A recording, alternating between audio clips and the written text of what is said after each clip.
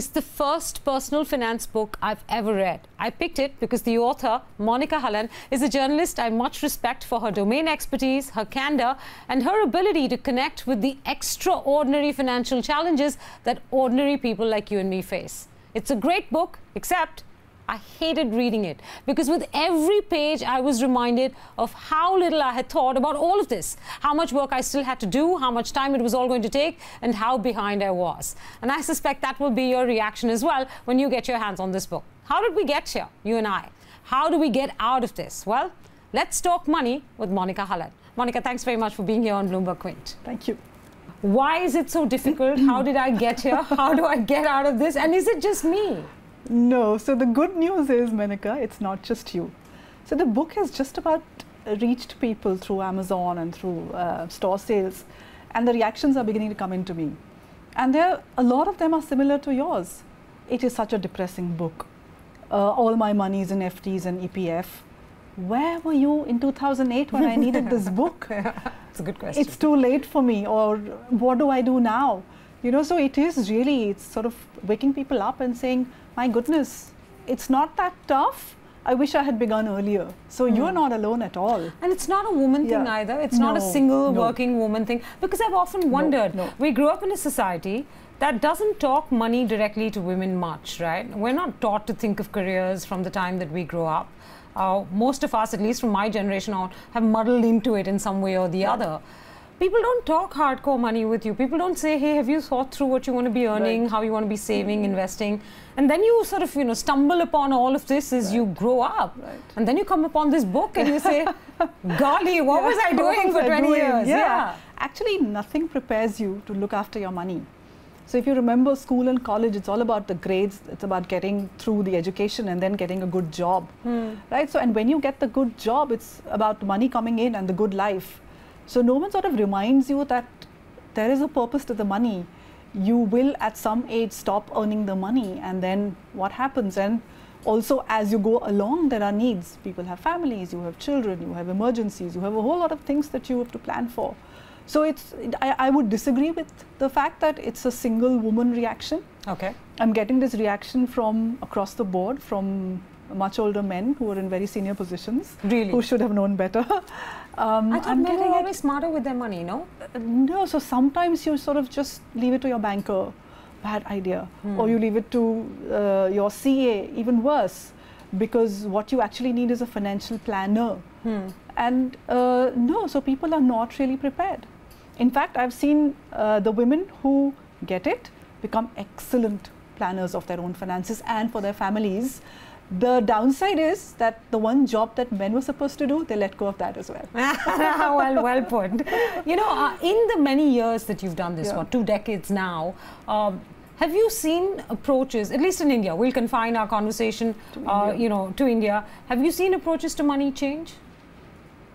Or have they stayed yeah. the same? Do you run into people like me every day, irrespective of the year, irrespective of the city, irrespective of the time of day, who say, "Hey, I've put this off for so long now, and you know, I don't think I'm doing anything with my money that's useful." Yeah.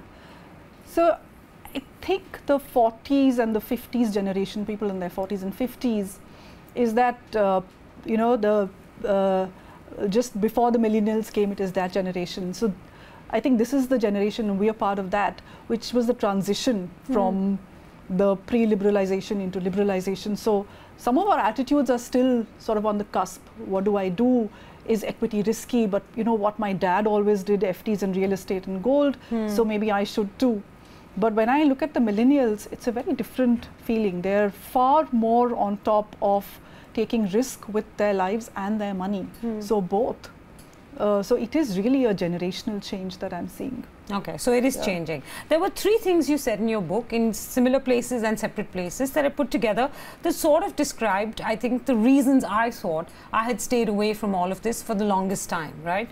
Um, and it was a moment of truth, really, because you, you think you're not doing this because you're busy with work. Yeah. You think you're not doing this because you've got other important things to do. You think you find all every available excuse yeah. in the world for not doing this till you realize that the only reason you're not doing this is because of this weird ingrained fear of failure. So the three things that you write about, and I'm going to list all of them now. I'm a money dummy. Mm. I don't really get this. This is too complex. I'm not sure I'll get it right. What if I find a better investment? I'm picking between A, B, C, D, E, F. Right. Am I making the right choice? The insecurity in having made the wrong choice, right? And the third, what if I make a mistake and I end Right. up with nothing, zero? Yeah. Isn't it better just to put my money in a savings account sure, or a fixed sure. deposit where I know it'll be relatively safe? Right, right, right. No, you've really got the problem where uh, almost perfect is the enemy of good Hmm. because we are seeking for this perfect product, this perfect return, this perfect highest return. We sometimes let go of what may just be good and not perfect. But having said that, these are all valid concerns, and it's actually a very good place to begin with. Okay. And I'm going to sort of unpack a little bit of why we feel like that. And I'm Okay. saying that it's the most logical, human, natural thing to feel because of the way the markets have changed. So, if you remember, before 1991, the Hmm. government took the entire risk onto itself.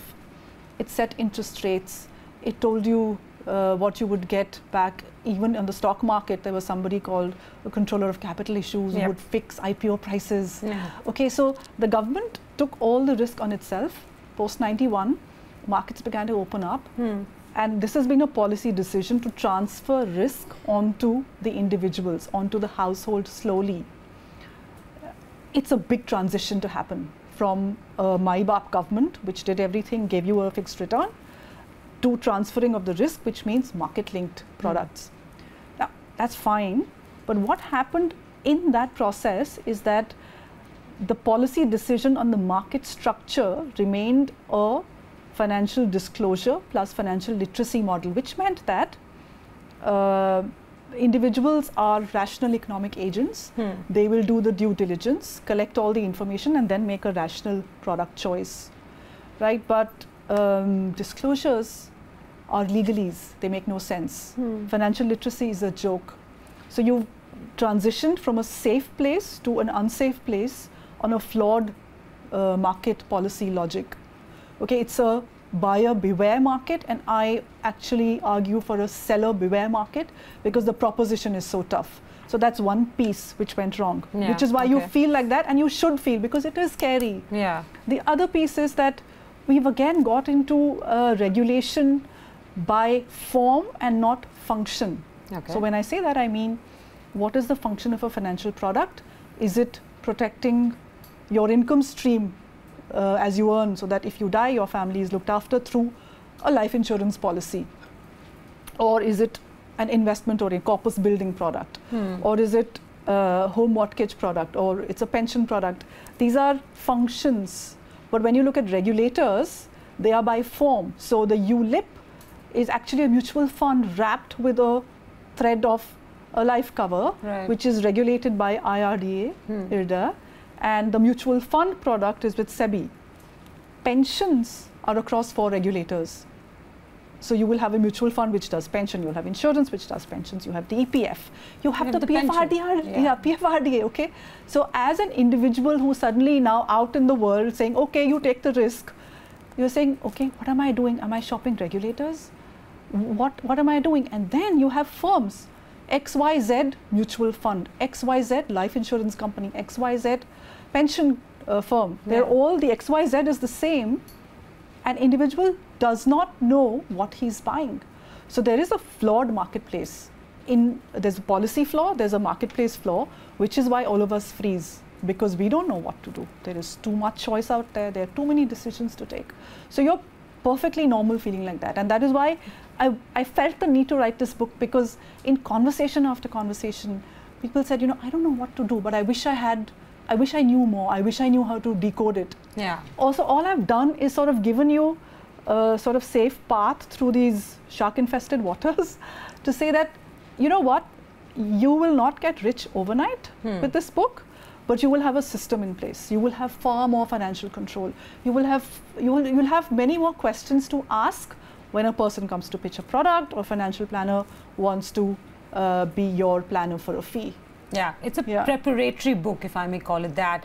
It prepares you to take the difficult decisions that you obviously have to take Yeah. to put your money in the right hands. it's a habit forming book okay. I'm saying that you have to change your habit from chasing return into having a system.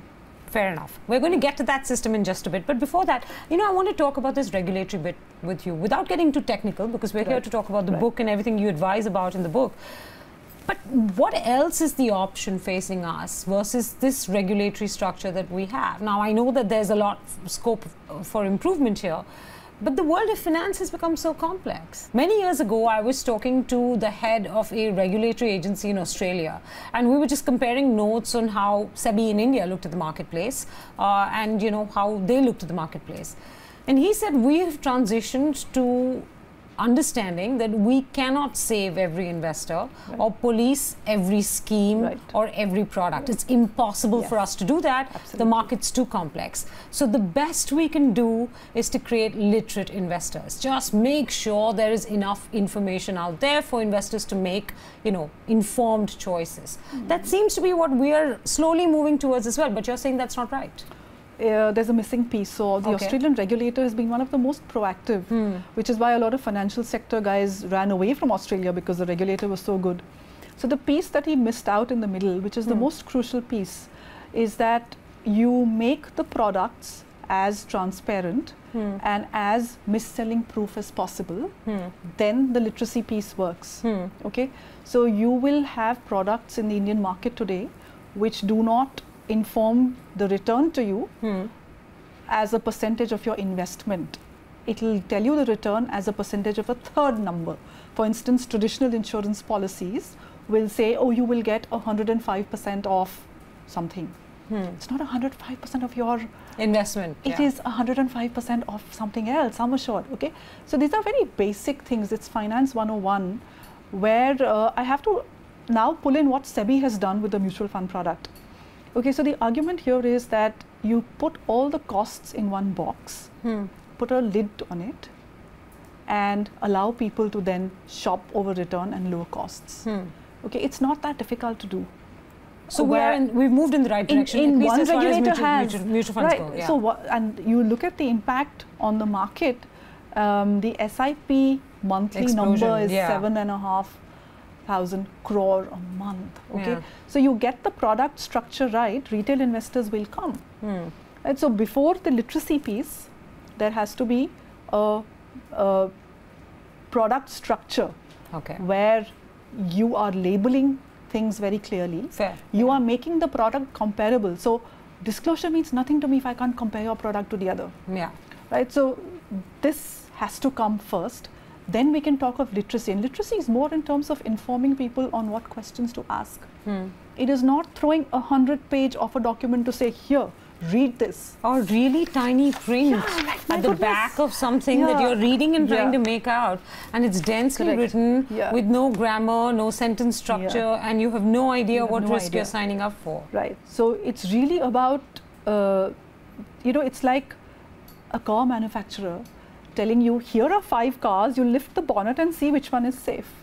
It's as bizarre as that, yeah, which is why it gets me riled up. You seem to be a little bit complimentary of where mutual funds right. have gone from a regulatory point of view.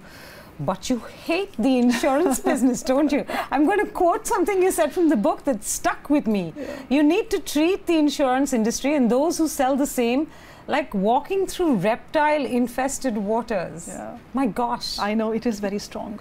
But you know, Menaka, when you see stories, when you get emails, when you get calls, when you get messages from people who've been missold this product, mm. their life savings are gone. There is fraud. There is just distress because of the way this product is sold. Okay. And you, I have seen story after story. It's systemic.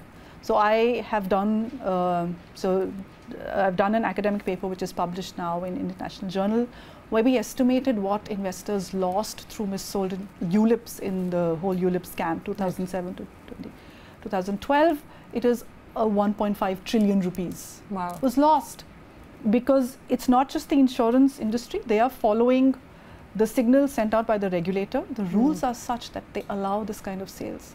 You put high upfront commissions in any product and you will get hard selling you will get mis-selling you will get push sales so the, pro the problem is that you have loaded the first year sales with so much commission, 40, 40% of your premium is going yeah. as commission in the first year. Why do you think the persistency number, the less than half the policies are alive after five years? Yeah.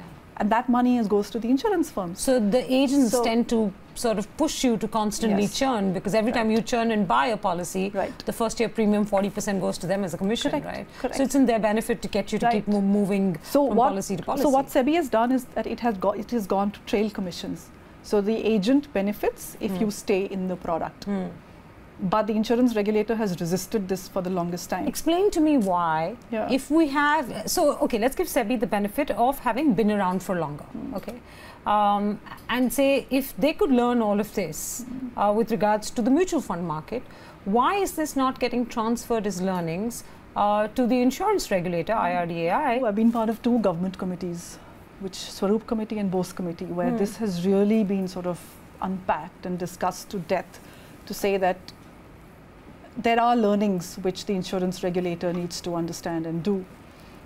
I think insurance has not come out of the LIC mindset. So LIC had a function, a very good function, before the markets opened up. It, was the only product which would get you a long-term corpus at a time when nothing else existed. Unfortunately, I think the regulator has been informed for all its decisions largely by the LIC kind of thought Hmm.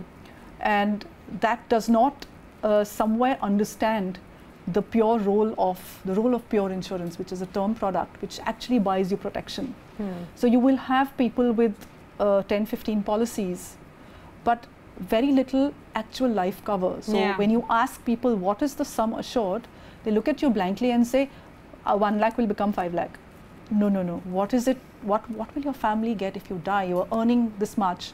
You will need at least 10 times of your income for the family to sustain 1 lakh will become 5 lakh you know so it's the parroting of the agent sales push Hmm. and coming back to your question on why IRDA has not uh, sort of reformed, I think it's a mix of um, one, the LIC mindset, and two, a lot of uh, household money funnels into government securities through the insurance route. Hmm.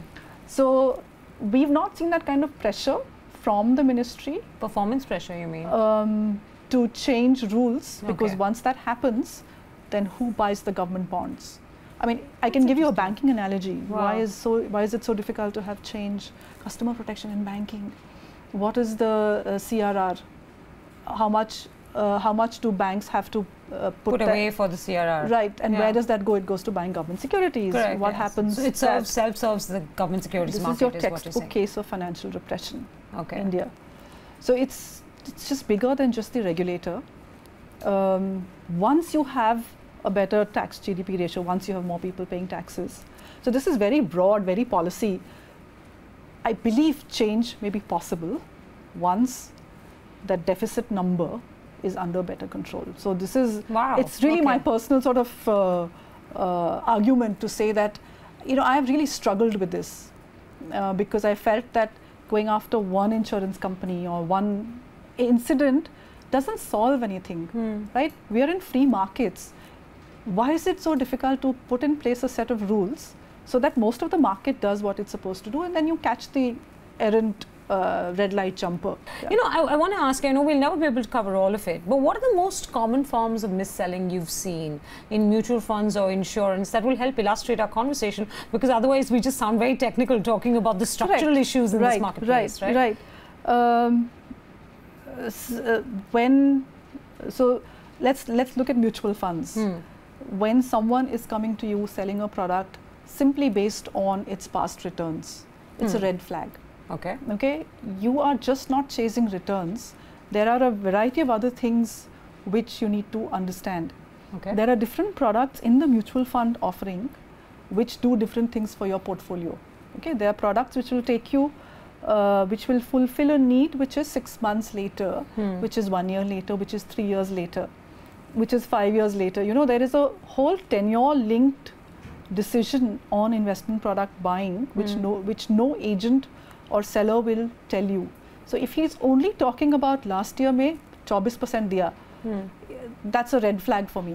I don't want a, to hear it's that. a red flag if, if it's the only point being if made. the only point being made, but by itself, it's not a bad point No, because how else do you check what the performance of that fund manager has been in the right. past? So, right? f- uh, so I'm saying return and performance is one piece that is important, but it's Hmm. not the only conversation. Hmm. A tax break is a piece, But that's not the only conversation. The product has to solve a problem that I have. Hmm. Okay, it's not just that I'm buying a product because it's giving a good return. You will always lose because uh, last year's winner may not be tomorrow next year's winner. We're Hmm. looking at past performance to predict future return. We don't know. So I'm perfectly happy if my fund is giving me top quartile returns, which means it's amongst the top Performing funds. uh, 25% of the funds in the market. Yeah. It's in the top 25%. I'm perfectly happy with that. The, Uh, the other thing I've noticed is, and, and there are a ton now of personal finance experts, wealth managers, call it what you may. Even if you have no wealth, you have a wealth manager calling you, telling you how you need to buy the next Mm. big hot mutual fund scheme, right? Is that also a red flag? Someone who constantly is telling you, hey, get out of this and get into that Right. because your returns will be better. before you start buying uh, market linked products, you need to understand them.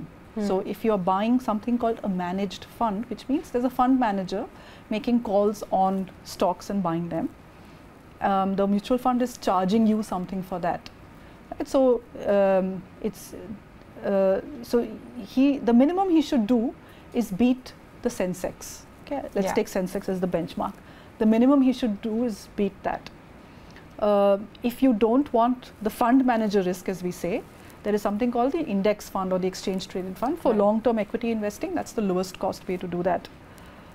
The only reason that I would change a fund would be that I see that there's been some change in the fund house. The fund manager has changed, or the fund has been sold, or the performance has really dropped off. Hmm. Right? That's the only reason that I will switch out of a fund and get into something else.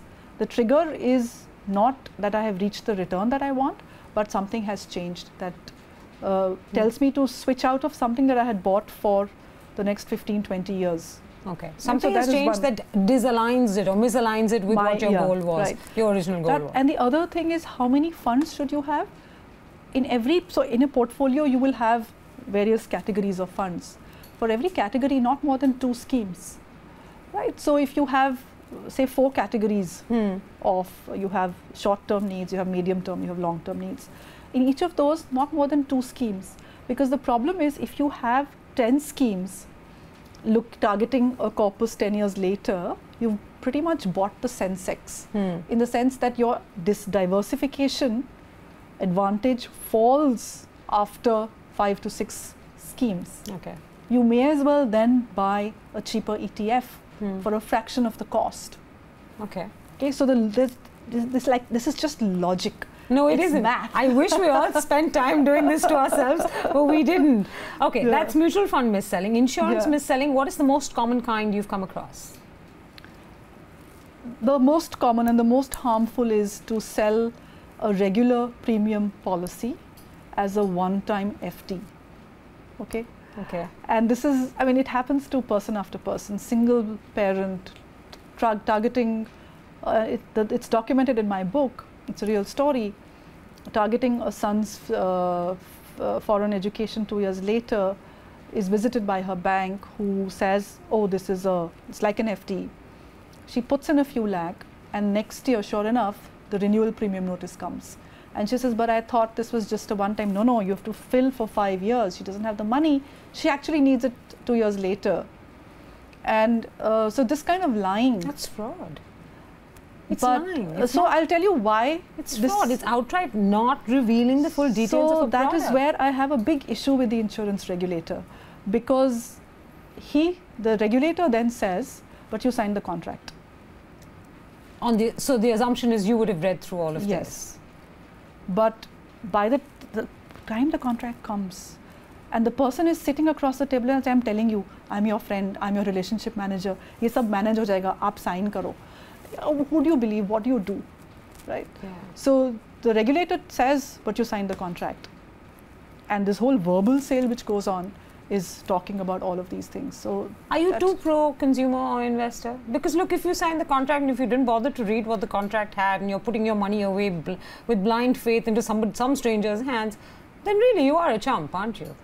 But uh, have you tried reading an insurance contract? For an average person to decode that document, it's got better and better in terms of there's better disclosure and all that. But my God, what it used to be earlier was really difficult to read. How do you figure out what they're saying? Monika, you insist we should all talk money, so that's exactly what we're going to do now. I, you laid out about you know several several interesting bits in your book that become um, how do I put it? The cornerstones of our financial life. I've picked some because we can't cover all, and I want people to be able to go read the book as well. Uh, that I'm hoping will enthuse people enough to want to go read the book. So let me start with the first one. We don't need a lot of money first to start investing. We need a lot of money streams. What does that Right, mean? Yeah. So one of the things which constantly comes at me when I start talking about what I do is, oh, I don't have money to invest, or I'm too poor, or where is the money? And so my pushback always is because you don't think you have, that's why you need it most. Who needs uh, a gym workout more? A fit person or an unfit person? Right? So if you already feel that you're not on top of your financial life, of course you need to start planning the poor woman who sells something outside on the road has savings okay everybody has savings so it's just sort of it's a defense mechanism to say um, i don't have enough money right? So everybody has the money. And when you start uh, totaling it up people discover they had a lot of money in different accounts in different products real estate gold. So they when they collect it all together they really said oh my god actually i had that much.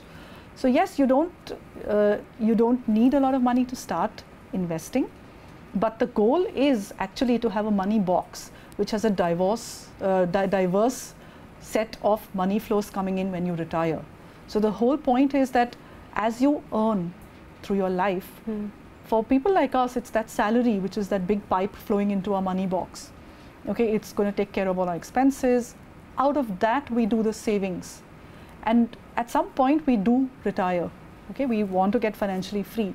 So more than even retirement by force, which is when you get too old to work, there's also this concept of being financially free. Hmm. To be able to walk out of a job if you don't like what you're doing, if you, you know, this uh, financial freedom allows you far more dignity. Okay, you can choose to keep working after you achieve financial freedom, but just to get to that number where if you don't get that salary, you're fine. To reach that point, you need assets which flow into your money box even if you don't go into work. So that's the that's the game plan to get you to that point where you are financially free. Okay. What is a money box?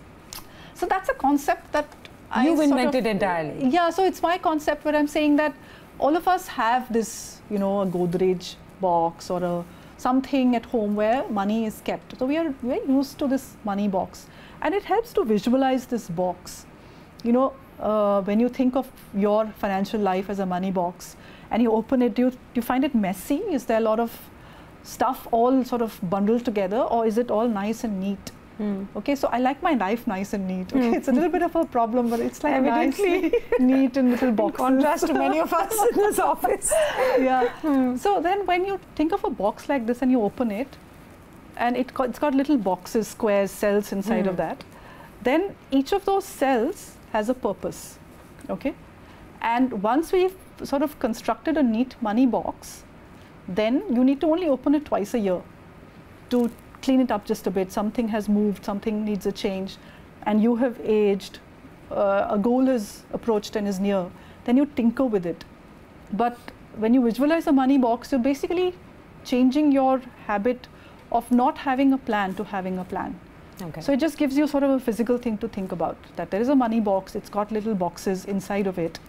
Each box has a product or a, uh, a strategy that you need to implement. what are those boxes? Okay, so the first one. The book, the book lays them out. the Give book list- hint. So yeah. I will just start with something which nobody who comes to sell you a product will start with. People, when they come to sell you a product, will say, How much do you have to invest? Hmm. This is the product. I'm saying this is at stage six. I will not even get to it before I've done a whole lot of other things. The first thing that I do, and I recommend people do, is to have a cash flow system. My Okay. first box is cash flows. And we think cash flows belong to the businesses, to the entrepreneurs, but it also belongs in our salaried lives. Because when people come back and say, I don't know where my money goes, it's because you've not separated out your spending from your saving. Hmm. So, all that my cash flow system does is it separates out into boxes again, neat boxes, bank accounts, Hmm. the money which I will spend and the money which I will save. Hmm. Uh, most of us have more than two bank accounts because we've changed jobs. So we will have at least three bank accounts. I'm saying now label them in your head. And then I draw upon behavioral economics Hmm. to s- say that when you label something, you stay with that label. So the first bank account is my income account, where all the incomes, whether it's salary or it's rent coming or it's some dividend bonus, it all sort of flows into this one bank account. We all know approximately how much we spend every month. Hmm. So at the beginning of the process, you transfer that much and a little more to a second bank account. Okay. Whatever is left to transfer it to the third. So the second one is called the spend it account. You're going to spend only out of that. And the third one is called invest it account. Okay. You You use are that not. for all your investments. Yes. Quite obviously. So right. So if you are uh, if you're at a stage where you can do this with two accounts, then your income account and your invested account can still remain the same. Just move your spending out. Okay. Once your uh, invest it account begins to get infusions month after month, Hmm. at the end of six months, you will suddenly say, "Oh my God, I did not know I could save so much." Hmm. I've not even begun to invest. I'm saying just let it sit. We have 30, 35, 40 year working life. I'm okay with six months that money earning 4%. Especially since you haven't done anything before that, right? If so you're at that stage. That's right. So if you just separate out, and when you've got, when you've labeled it like that, then nothing will encourage you to pick out of the invested account to buy a gadget. It'll, our behavior will prevent us. So you'll only use it from your spend account, and your spend account, if it's uh, you know It's empty, it's empty. yeah, depleted, then it's empty. That's right. Yeah. You will never find yourself pulling it out of your invested account to fund a, a impulse spend. If it is, you that's your red flag. Uh, So this, but yeah. cash flow is just one box, right? Yeah. One cell. Correct. How many such cells are Yeah, there, in your there money box? 11 cells. 11 cells. Yes. What are the. 11? Do you remember so, all of them yeah, the so I will. cuff? Yeah. I'll just sort of Sorry. take you through a few Yeah. of them. So first, of course, is cash flow. That is right. where you begin. You don't begin by investing. Okay, got it. Then, what what you need really is something called an emergency fund. Okay. Because again, when I speak to people and they say, no, no, we can't invest in equity because you know what? What if we need the money? Hmm. No, and it's a genuine fear that I may need the money soon for an emergency, for Yeah, if something. you have aging parents or Something you, you know, need. So children I'm about saying- to get married or go off to study. yeah, those are goals. Those are different. So th- Okay. though you can target those goals. This is Aging just parents health emergency. Yeah, so you can target those. Again, Okay. goals can be targeted. See, those are goals which can be targeted. This is emergency. I lose my job. I Hmm. have an accident which my insurance is not covering. There are hundred things which can go wrong. Hmm. This is just emergency money. Okay, This is clearly I got this months, bit wrong. Yeah. Six months of your monthly spend Six months of your expenditure. expenditure wow. is put away. That's the first sort of investment that I make. So after you make make sure you've got your cash flow thing move Yeah, working yeah. fine, and you've And got this you- money piling up in your investment Yeah, account. The first thing you ought to be doing is putting away at least six months of money. correct. That's the Uh, first thing that you do. Okay. right because and then you will buy your insurances there's medical there is life and if you see all, what is all of this doing this is now allowing your money to take a longer term horizon Okay. because we've sort of dealt with an emergency. So emergency happened. And again these have happened in my life where somebody's lost a job and you suddenly need the money. There's emi i. Had one year of expenses sitting in a nice short term fund. And then you don't need to sell your house or sell your car or move. You know Or do take something. Or take a take job on- out of desperation. correct. you right? have the time to wait it out. So what your emergency fund your what your medical insurance what your life insurance all of these are um, accounts or are cells which in an emergency will fund you Hmm. so that your money what is now left for savings long term can actually go to equity. Because Okay. equity is a long cook. It's a very long term. It's not instant noodles. It's a long term cook. Uh, your money can now take the risk and stay long term you will not need to pull it out because you've done all of this Okay. I counted in your book three bank accounts in the cash flow Yeah. cell, five types of insurance health, life, critical illness, accident, home, three types of investment cells, one Right. emergency account, one, One retirement, retirement account. Oh my gosh, by the time I got through all of this, I was tired and exhausted, Yeah. thinking, my God, do I have to plan for all of this? Can't I just pick up what I save and put it into some SIP and be done with this? But I can't, it seems. Or I shouldn't. it really depends on your uh, personal situation right? So if um, you know if you have no goals for say children, their marriage, their education, um, you know that you will retire and you know that that is the only goal that you have is uh, care of aging parents and uh, Yeah. your own retirement. It's a far neater life than somebody who's got a messier life with children and um, Parents, children. parents, children, all of that. Yeah. Right. But even a person like you would need your emergency fund. You will need your medical insurance. But emergency, retirement, cash flow, five types of insurance. I have like health insurance thanks to my company, Yeah, but what Cover, happens which I've now discovered is really not enough, right? When I was reading your book. right Three what types of investment cells with three Yeah. different time goals and all of it. You know, look, are you not scaring people like me away? No, so I'm telling you what uh, you need to know if you go to even work with the planner. Right? So if you go to work with the financial planner, you should know that this is this is all the work that he will do. Hmm. This is what a financial planner does. He will put your life in this sort of a matrix. okay. And the structure of the book is such that if you feel that this is far too much work and I don't have that many short term goals, Hmm. then you knock off a box and say, I only have long term. And just use the boxes that yeah, suit your so financial it's really goals. sort of it's your box. You can take a cell out and say, I don't have short term needs. I don't have medium term needs. I only have five year plus goals. Hmm. And then it's far neater. Okay. But in terms of an emergency fund, in terms of your medical insurance, I cannot emphasize enough that uh, you have to have your own because what happens when you leave a job and Mm. you're much older? By mid 40s, a lot of lifestyle diseases start in.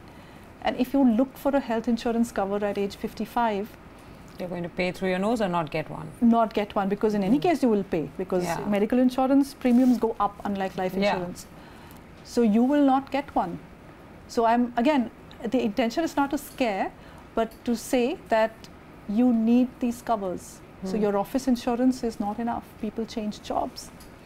Things happen and then you know people are out of a job and there's no medical cover.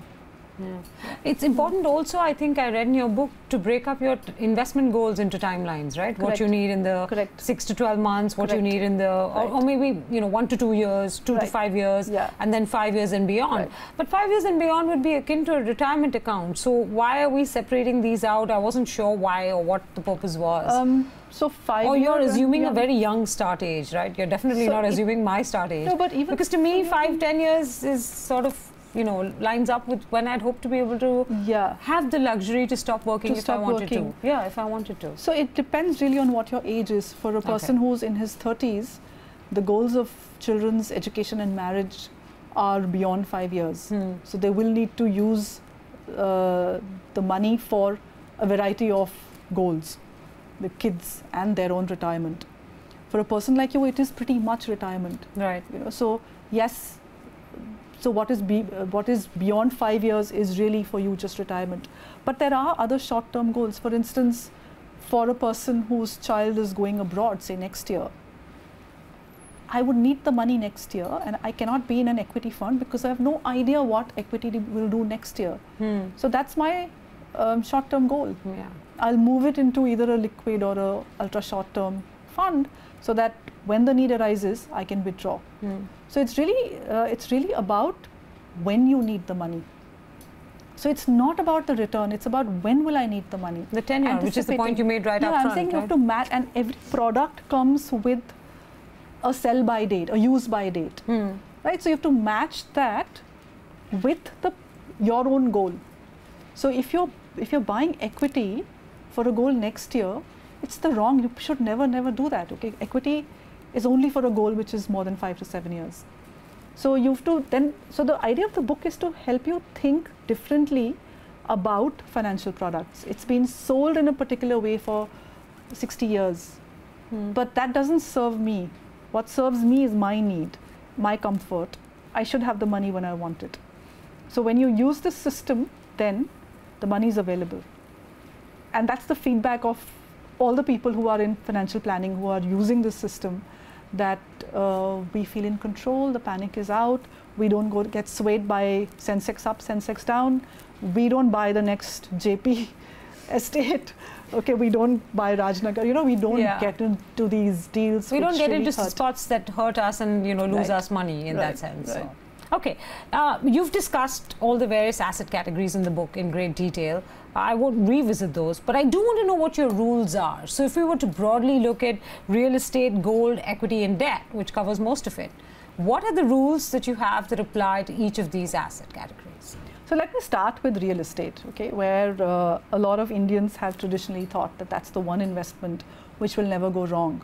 Except that what we've seen is in the last few years, it has gone terribly, terribly wrong Mm-hmm. because of a variety of factors, okay.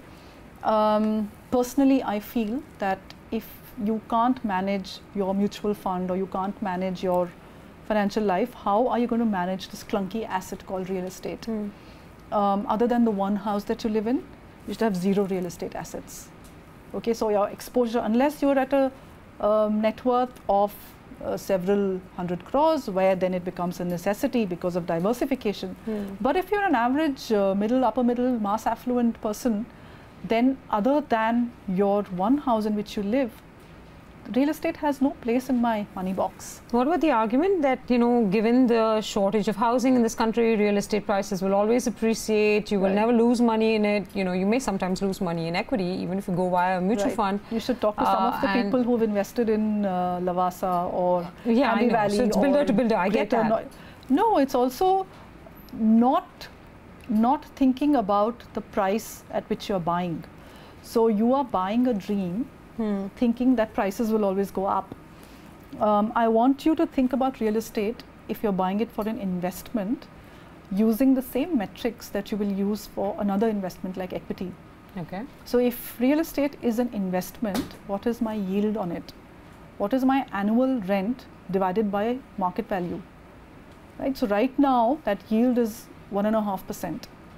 I am better off selling it And putting the money into even a in fixed an deposit. FD. Yeah. Like I'm not even saying ultra short term debt fund, which is giving me seven and a half, eight. It varies between six and nine, but post tax. Yeah. But So- is it old yeah. fashioned? You know, I've, I've heard so many people say this, yeah, but you know, you have the solid asset and then it earns you rent and it appreciates there in is value. maintenance there's the fear of the tenant not leaving then there is all the problems that real estate causes with inheritance of uh, what mess you leave behind for your kids So in your So- book, not just this one, but generally Yeah. speaking, in your book, real yeah, estate is yeah, a no-no. it's and also um, the more uh, the smarter financial people who are actually understanding this are saying i'm not buying this messy asset because one it requires black money still Hmm. Two, there is a whole lot of costs associated which you never count of maintenance, of stamp duty.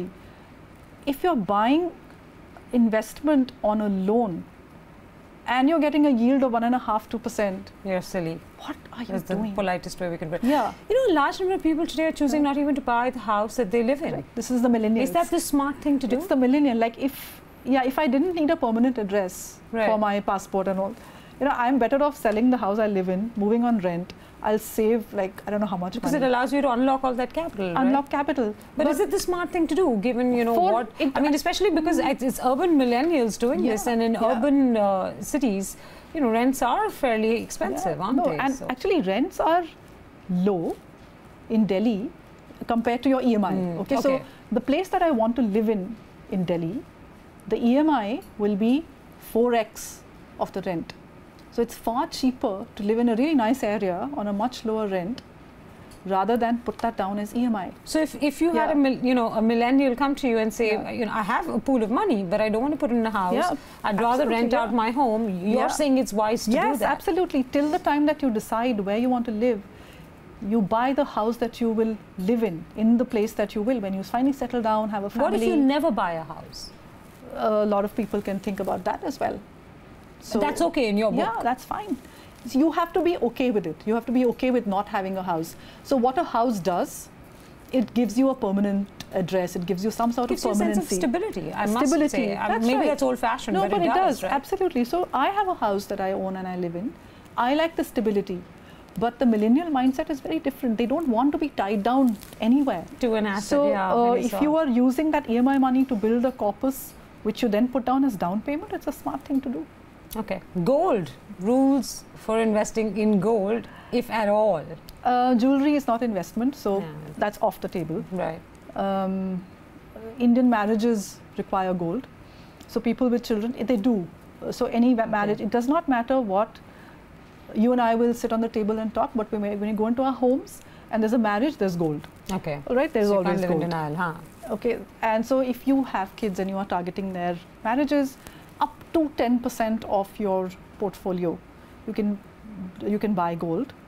Okay. Um, personally, I don't have any gold in my portfolio because I have only equity funds. I think when I, if and when I want to buy gold, I'll buy, I'll redeem and buy then, rather than have this asset on my portfolio.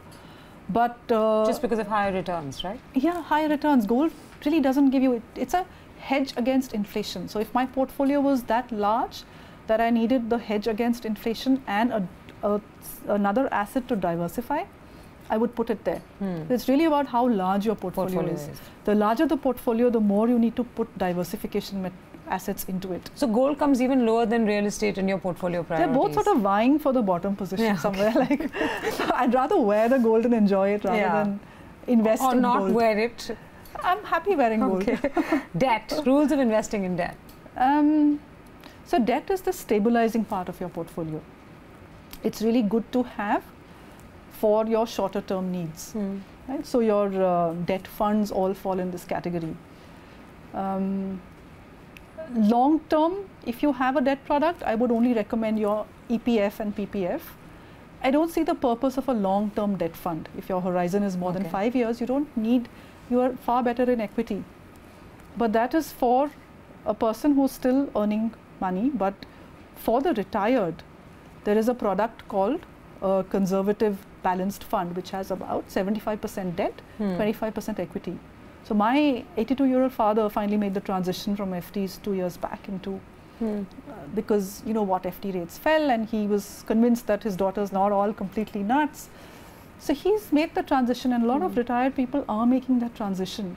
So the role of debt in a retired person's portfolio then becomes the stabilizing asset class with a little bit of equity for the return kicker. Hmm. So again, when you use asset classes, it's really about who you are, what your stage is, how that asset will help me.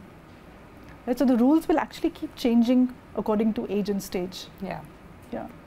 Equity.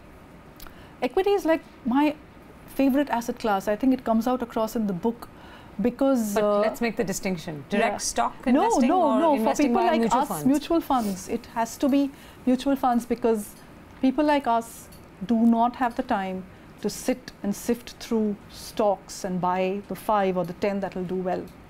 So you can have one success story that you picked Infosys when it was not Infosys, but then did you talk about the duds that you bought?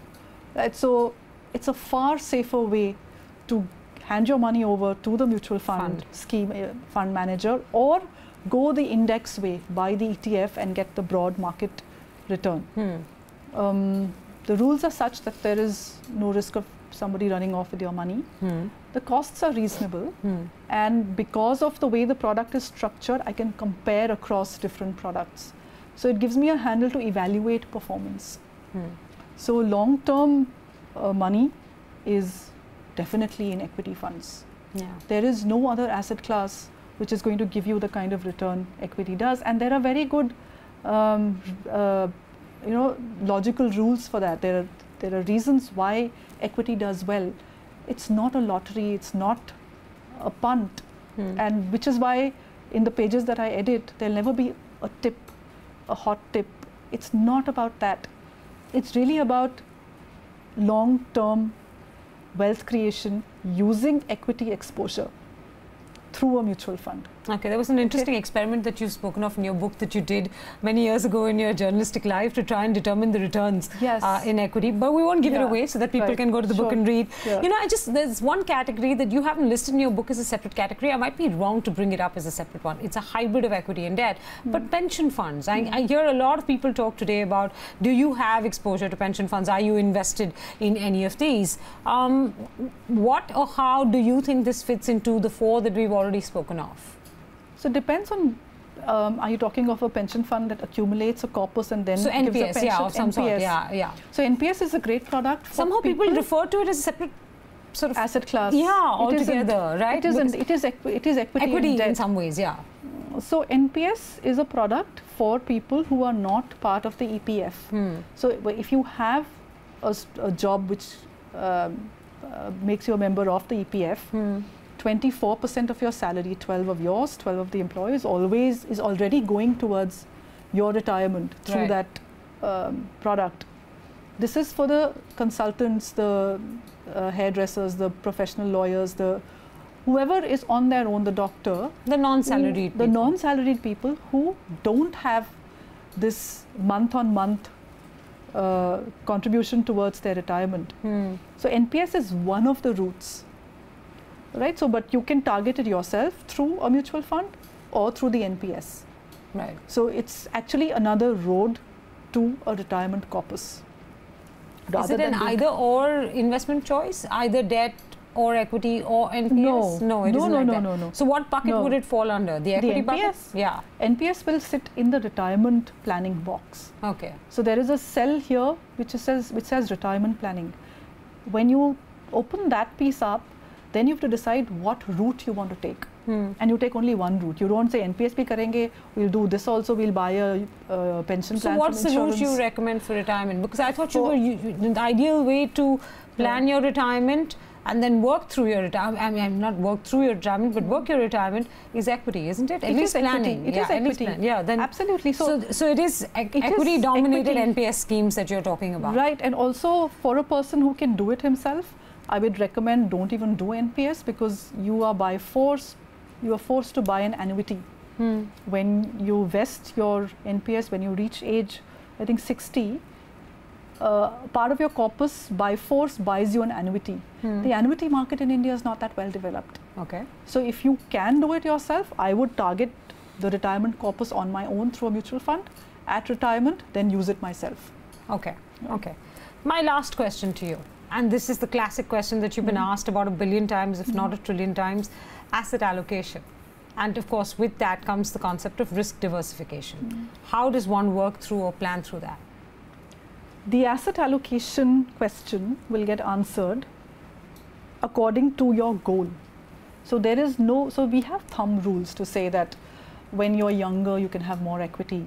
Right? So when you're in your 30s, you can have up to 70% of your money in an equity. As you grow older at 70, you have just 30% of your money in equity. So these are the broad rules of thumb that uh, the exposure to equity reduces Hmm. as you get older and older. And there's a logic to that because you have that many less years that you're going to be alive, so that many less years for the markets to recover. Hmm. Right? So that's your sort of base level argument which says that equity goes down as you age. Having said that, every goal will have a different as- asset allocation. Hmm. So when I speak about a retired person who wants uh, a monthly income, then his asset allocation is 70 30, 25 80, you know, 75 25. Hmm. Uh, if I have a short term goal, for that goal, my asset allocation is 100% debt. If I have a long term goal, which is more than seven years, I'm 100% into equity. I have no debt in that product. Hmm. So the broad rule is heavy equity at a younger age, lower equity at an older age. But then, as every goal is targeted, the asset allocation for each goal will differ.